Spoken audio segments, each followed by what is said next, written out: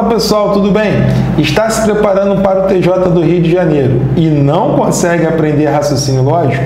Então esse vídeo é para você. Sejam bem-vindos a mais uma estreia aqui no nosso canal. Para quem não me conhece, sou o professor Marcão e nesse vídeo de hoje vamos dar continuidade à nossa série de aulas de raciocínio lógico para o TJ do Rio de Janeiro. É a nossa série Netflix MPP. Olha aí na telinha. Raciocínio lógico para o TJ do Rio. Os quatro assuntos mais cobrados no SESP-NB. Repete aí na sua casa. Para cima deles e não deixe o inimigo agir. Tá aqui, ó. Juntos conseguiremos essa vaga. É o Netflix MPP. Com certeza você vai gostar dessa aula e os temas. Cara, pode anotar. Os temas abordados nessa aula de hoje vai estar na sua prova. Com certeza. Tabela verdade, negação, são aqueles assuntos rotineiros na prova do SESP UNB. E você com certeza vai maratonando, né? vai assistir essa aula de hoje, vai procurar aí outras aulas no canal e assim a gente vai até o dia da sua prova. Legal? Zero trauma? Então, pessoal, é isso aí. Caneta e papel na mão e simbora, vamos dar início aí à nossa aulinha sem mais delongas, vamos direto ao ponto. Tá aqui as nossas redes sociais, trocamos likes e seguimos de volta. Vai lá no nosso Instagram. Pô, Marcão, tô chateado, não quero mais fazer concurso. Raciocínio lógico não é de Deus, cara, é o inimigo. Né? O inimigo é o cara da banca, ele quer pegar a tua vaga e, cara, tá repreendido. Vai lá que a gente vai trocar uma ideia e com certeza você vai mudar esse seu pensamento. Vamos lá, 2020 é tudo nosso, até o fim. Vamos lá, vamos juntos nessa. E tá aqui a nossa primeira questão de hoje. Mas antes de começarmos aí a primeira questão, já esquecendo. Baixe o material da aula, tá? Aqui na descrição do vídeo tem um link, então baixe o material da aula. É muito simples, é só você dar um clique, né, colocar lá teu e-mail, telefone, bem fácil e você baixa o material e vai acompanhando. E claro, tenta fazer também as questões, isso é muito importante. Você tem um poder do pause. Você virou o senhor pause. Dá o pause, tenta resolver e depois olha a solução. Show de bola? Lindo demais? Vamos lá, caneta e papel na mão, primeira questão da nossa aula. Tá aí, sem quiriquiri corococó. Vamos lá. Considerando a proposição se Paulo não foi ao banco, então, ó, se o C está na frente, o então vem depois. Se Paulo não foi ao banco, então ele está sem dinheiro. Com isso, julgue o item. Vamos lá. Agora vamos analisar o que o SESP está falando. A negação, a negação da referida proposição pode ser expressa pela proposição Paulo não foi ao banco e ele não está sem dinheiro, vamos lá, vamos tirar a prova real. Qual é a regrinha? Olha, está falando da negação. Ó. Até marcar aqui. Ó. Qual é a regrinha para negar o C então? A regrinha para negar o C, então, pessoal, quem não sabe, anota aí, ó, é o mané, método MPP. Mantém a primeira e nega a segunda. Simples assim. É uma regrinha. Então, para negar a condicional, mantém a primeira e nega a segunda. Como é que a gente aplica essa regrinha na estrutura? Vamos lá. Primeiro passo, você vai trocar o C então pelo E. Zero trauma? Primeiro passo, você vai trocar o C então pelo E. E depois você vai colocar o mané para jogar. Repete aí na sua casa. Depois você vai colocar o mané para jogar. O que, que seria colocar o mané para jogar, Marcão? Você vai manter a primeira parte e depois vai negar a segunda. Você vai manter a primeira parte e depois vai negar a segunda. Fazendo a leitura da negação. Vamos lá. Mantém a primeira parte. vai ficar Paulo não foi ao banco e nega a segunda parte. Ele está sem dinheiro, negando, vai ficar ele não está sem dinheiro. Fazendo novamente a leitura da negação, para a gente poder conferir lá, comparar com o que o SESP está dizendo, como ficaria? Vamos lá. Paulo não foi ao banco, já está tudo ali, bonitinho. Paulo não foi ao banco e ele não está sem dinheiro. Olhando o que o SESP colocou, a estrutura está igualzinha? Sim. A estrutura está igualzinha. Então, pessoal, o CESP ele negou a proposição de forma correta. Se ele negou a proposição de forma correta, significa que o item né, na nossa prova estaria o quê? Certo. Então, a primeira questão ela foi para conta. Realmente o que o CESP está falando é verdade. Ele negou corretamente a condicional. Daí, né, zero trauma, engole o choro, passamos para a próxima questão. Da negação, passamos agora para a tabela verdade, que é um outro assunto muito cobrado nas provas do SESP. Vamos dar uma olhadinha. O que a questão está dizendo? Vamos lá. Considere as seguintes proposições. Aí todo mundo está vendo aqui três proposições, ó, A, B e C. Aí vamos lá, olha o que o CESP está dizendo. IPC, importante pra caramba. É agora que você tem que ter atenção. Ó. Nesse caso, há apenas uma proposição falsa. Então vamos lá. Vamos analisar a tabela verdade da condicional. Por quê? As três proposições, temos aqui o sem então na parada. E o que, que diz a tabela verdade do sem então? A tabuada lógica do sem então. Anota aí se você não conhece. Se então. O que, que diz a tabuada do sem então? V com F dá F Caso contrário, dá V. Em outras palavras, só tem um caso que dá falso no C então. Só tem um caso que dá falso no C então. Quando a primeira é verdadeira e a segunda é falsa.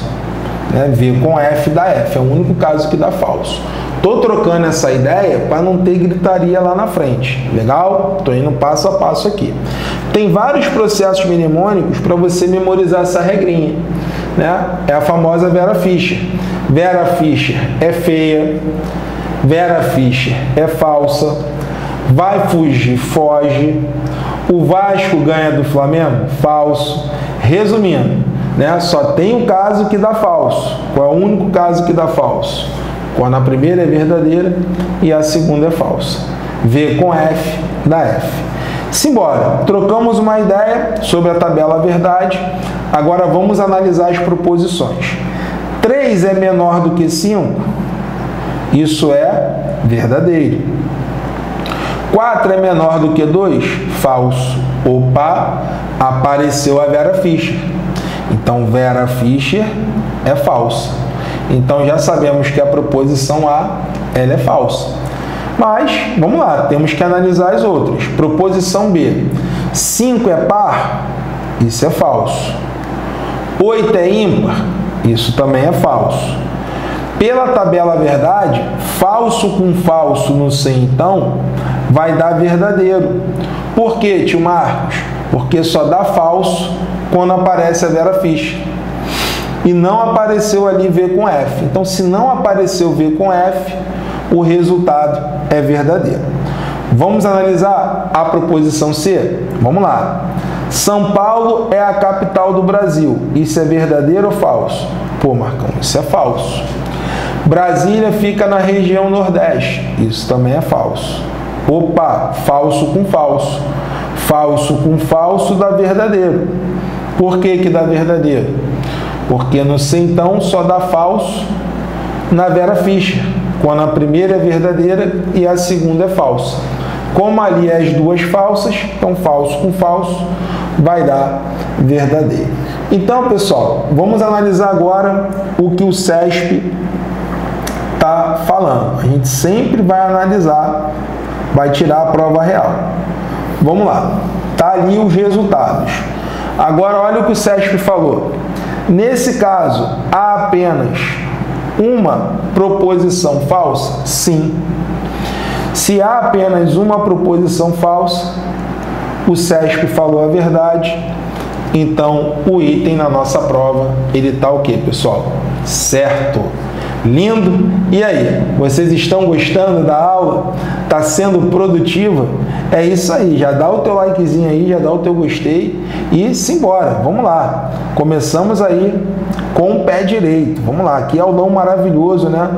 Já estamos aí antecipando os nossos estudos, né? A antecipação, ela vai fazer toda a diferença na sua preparação para o TJ do Rio. Eu sei que você está em pânico aí com o Sebrasp, caramba, é o SESP, como é que eu vou fazer? Era FGV, agora mudou para o SESP. Cara, vamos lá.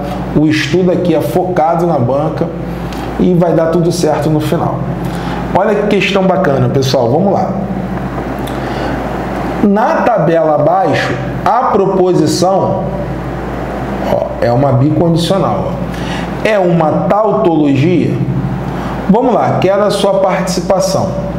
Coloca aí, o que é uma tautologia? Vamos lá, vamos olhar aqui a palavra. E você vai colocar aí. O que, é uma tautologia? Coloca aí, não sei. Pô, aqui é a hora de você errar. Você não pode errar na prova. Pô, Marcão, é isso, é aquilo. Coloca aí. Vamos lá, vou te dar alguns segundinhos. Pronto, vamos lá. Agora vou falar para você o que é uma tautologia. Tautologia é o valor lógico sempre verdadeiro é quando a estrutura lógica da frase, os valores lógicos, né, são sempre verdadeiros. Agora, pessoal, dá uma espiadinha aqui. A seta B equivale a não B seta não A. Ou seja, essas duas estruturas são logicamente equivalentes. Quando duas estruturas são logicamente equivalentes? Quando elas possuem né, os mesmos resultados. Então, se a primeira for verdadeira, a segunda também vai ser verdadeira. Se a primeira for falsa, a segunda também vai ser falsa. E assim sucessivamente. O que acontecer de um lado, vai acontecer do outro. E o que, que diz a tabuada? Da bicondicional, pessoal. O que, que diz a tabuada da bicondicional? Vou colocar aqui para você a tabuada do C e somente C. O que, que diz a tabuada do C e somente C? Olha que interessante o método MPP. Iguais Davi iguais. Como eu tenho toque, eu vou afastar um pouquinho. iguais. Davi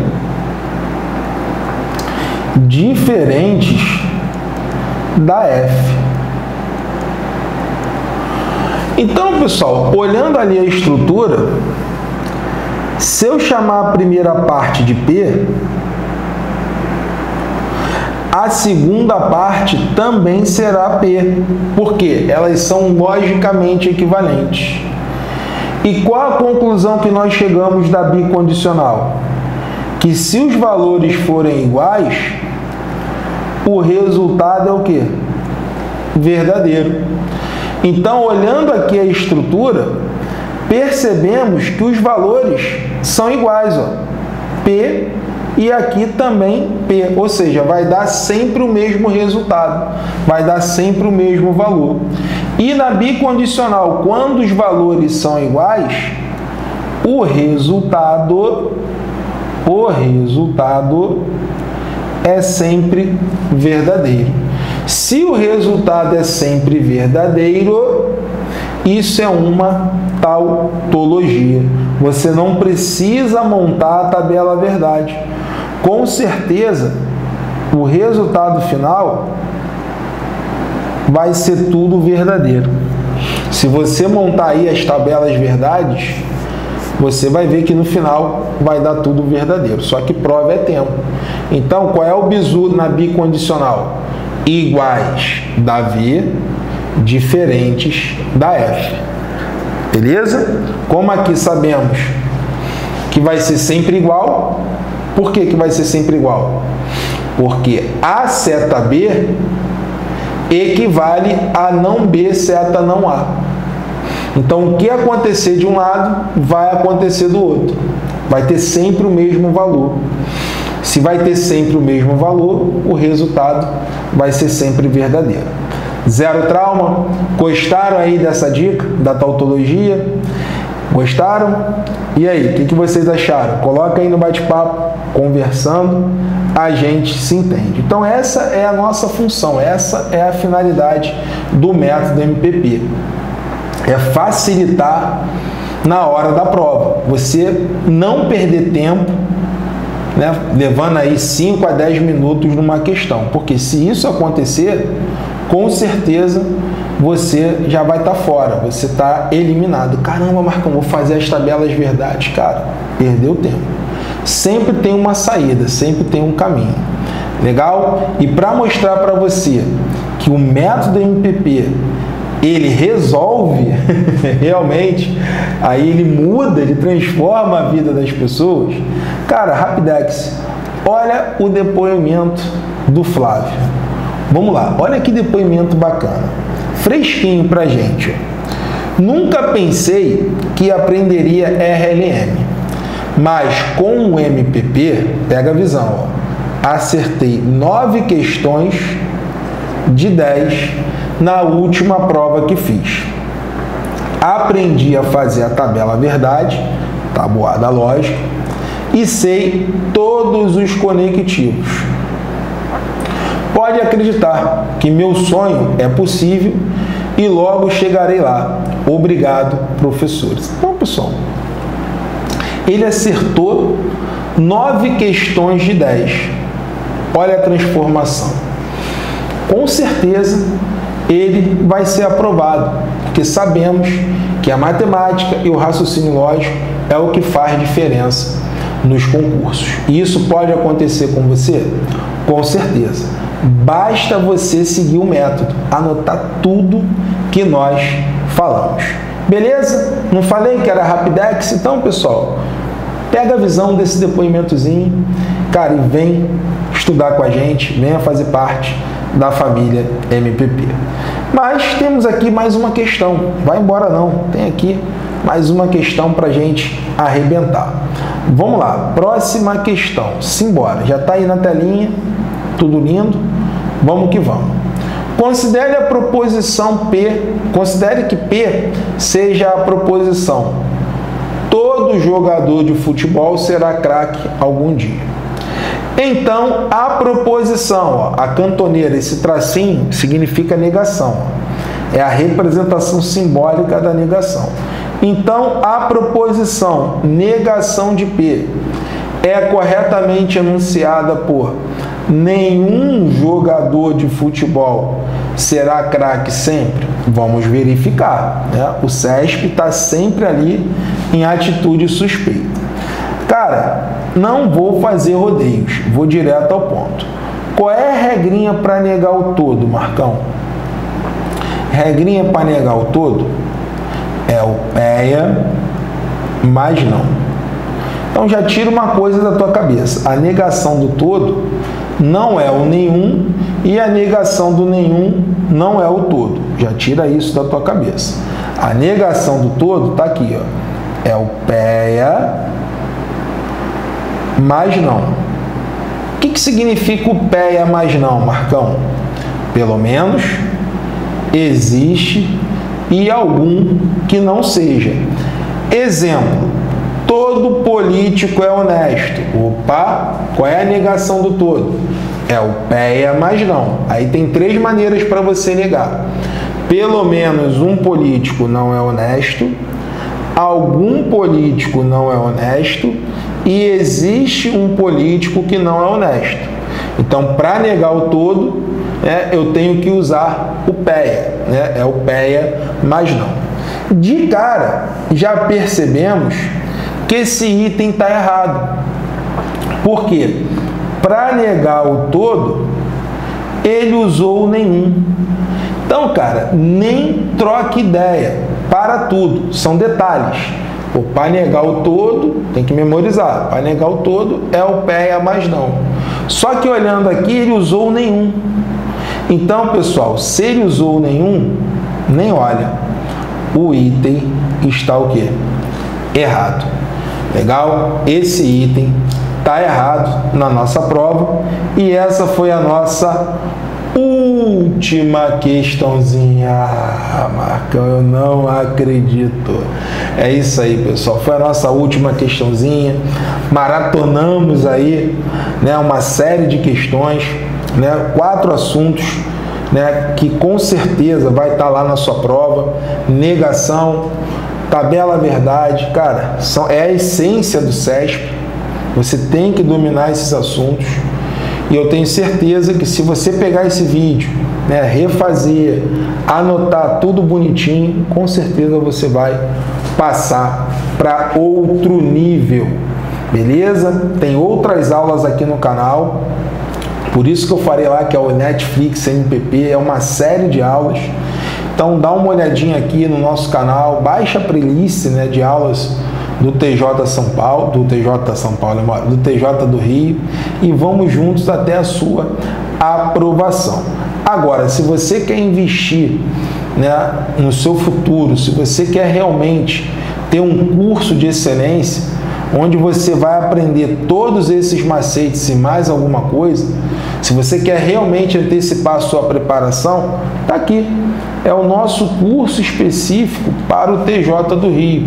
E esse curso ele está com um bônus, beleza? Ele está com um bônus. Perguntas dos alunos. Ah, Marcão, mas se sair o edital e ele acrescentar mais assuntos, né, ter mais matérias, enfim, a gente vai colocar no seu curso sem custo nenhum para você. Saiu o edital hoje, acrescentou mais matérias, a gente vai colocar no curso sem nenhum custo para você. Os assuntos que nós colocamos ali são os assuntos que a gente sabe que vai cair, que vai estar tá lá no seu edital, que é o padrão CESP. Agora não adianta a gente botar um conteúdo muito extenso com assuntos que ah, marcam, pô, caiu num concurso logaritmo. Pô, não cai sempre no CESP. Então ali a gente colocou os assuntos que a gente sabe. É, caramba, esse, esse tema aqui vai estar na tua prova. Aí saindo no edital, como eu falei, se tivermos ali que acrescentar mais alguma coisa, a gente vai acrescentar de boa, sem custo nenhum para você. Legal? Quer saber maiores informações? Clica aqui, tá o link do curso. É só você clicar que você terá ali todas as informações. Se você continuar com dúvida ou quer saber informações de outros concursos, cara, fala aqui com o Júnior, aqui no nosso chat né? Você já está olhando aí, é um dos nossos colaboradores, ele está aqui realmente para te dar uma assessoria. O, WhatsApp dele está aí. É só você mandar, ah, Marcão, não quero falar aqui, manda uma mensagem para ele, é que com certeza ele vai te orientar da melhor maneira possível. O nome dele é Júnior, ele está aqui né, te esperando para vocês trocarem aí uma ideia. Zero trauma? Legal? E claro, gostaram da aula? A aula foi importante? Cara, deixa um comentário quando acabar o vídeo, né? Deixa um comentáriozinho aí quando acabar o vídeo e dá o seu like, porque isso é muito importante, vai ranqueando aí o nosso vídeo. Zero trauma, zero zero. Agora vamos à nossa mensagem. Vamos lá. A maior descoberta de todos os tempos é que uma pessoa pode mudar simplesmente mudando de atitude, pessoal.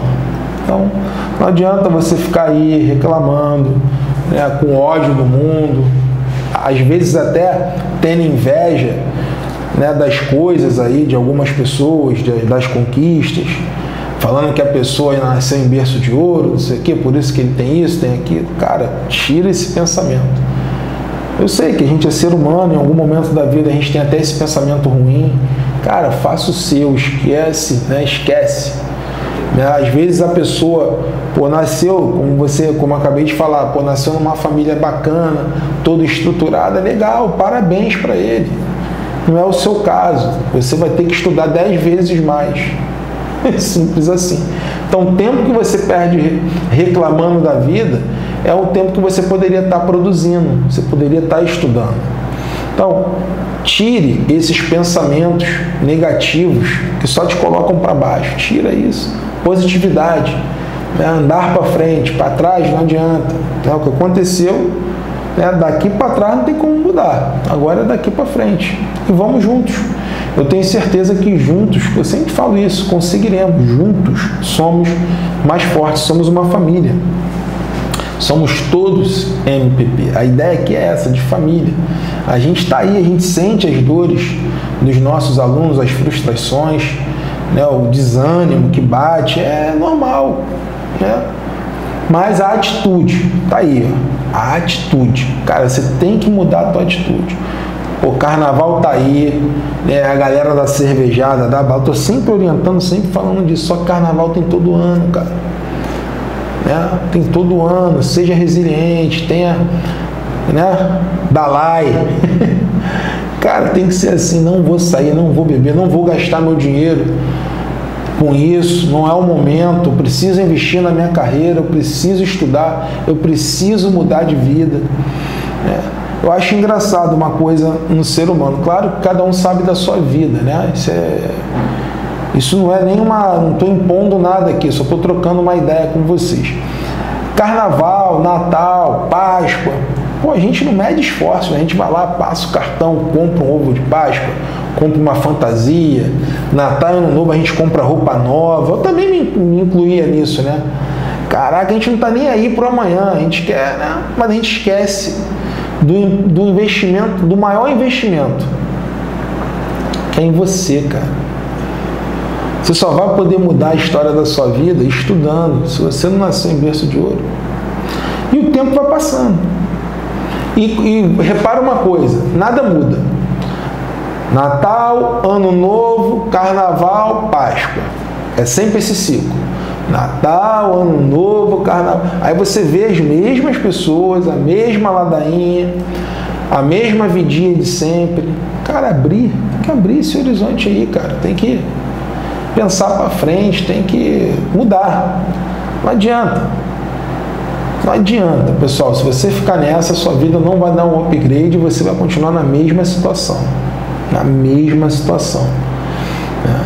Então, vou te dar aqui algumas orientações né, para melhorar aí a sua produtividade. Primeira coisa delas, pô, evite, cara, distrações oportunistas. É o famoso celular, as redes sociais. Então, no momento que você está estudando, cara, evita. Bota aí no modo avião, você que é viciado em celular, em redes sociais, então afasta o celular de você. É. Primeiro passo, cara, evite essas distrações oportunistas, porque isso realmente baixa a sua produtividade. Outra coisa importante para você ter uma produtividade legal, né? Divida grandes tarefas em pequenas tarefas. Não se iluda, você não vai conseguir assistir hoje 10 vídeos. Então, devagarinho. Ah, vou assistir dois. Pô, amanhã já assisto mais dois. Pegou o gosto de maratonar? Daqui a pouco você está assistindo três, quatro e assim vai. Então, grandes, divida grandes tarefas em pequenas tarefas. E a última dica, né, a mais importante, né, é você ter um foco. Você tem que ter um foco. Você tem que focar um concurso. Não é sair atirando para todo lado. Tem um foco. Pô, vou fazer pô, TJ Rio de Janeiro, exemplo.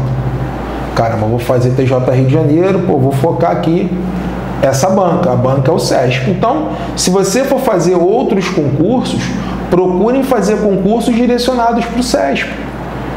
Ah, abriu um concurso para o SESP, caramba, matéria parecida. Pô, vai lá, treina, mas não perde o seu foco. É esse aqui. Então, com certeza, você tendo foco, sendo organizado, né, tendo aquela disciplina ali diária de pelo menos três horas por dia, cara, a tua produtividade, né, os seus estudos ali vão melhorar ali 100%, eu tenho certeza disso. E por fim, né, eu vou falando aqui, eu vou me emocionando, porque eu já tive aí, eu sei como é, eu sei como funciona, é chato, vários pensamentos né, negativos, né? Tem aquela galera ainda que te bota para baixo, pô, vai estudar, cara, carnaval, depois do carnaval tu estuda, cara, toma uma atitude hoje. Começa essa mudança hoje. Vamos lá, a gente está aqui para te ajudar, vamos juntos. Legal? Então, pessoal, é isso aí. Mais um aulão para conta. Um forte abraço. Fiquem ligados que às 22h15 faremos um outro aulão para você com muito carinho. E matemática é isso aí, pessoal. É para passar. Um beijo no coração e um forte abraço. Valeu!